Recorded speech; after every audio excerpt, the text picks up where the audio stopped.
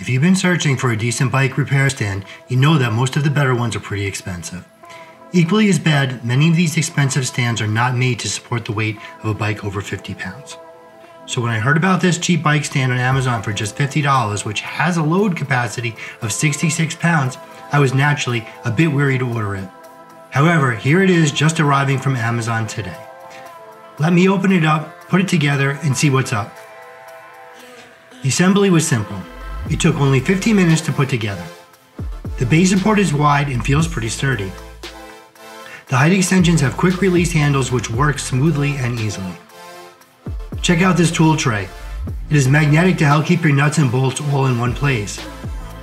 Now, here is one of the most important parts of an e-bike stand. This is the main clamp head. First, let's try clamping it to the seat post. After a small amount of adjustments and tightening, you can see I was quickly able to get my bike clamped securely. Although it's a little bit shaky. Now let me try and see if it will clamp to my top tube. The top tube of my e-bike is not round, so it's no surprise that this is not a great fit. However, it's still strong enough to support the bike quite nicely. As you can see with this demonstration, the stand twists a little with the torque from the e-bike motor.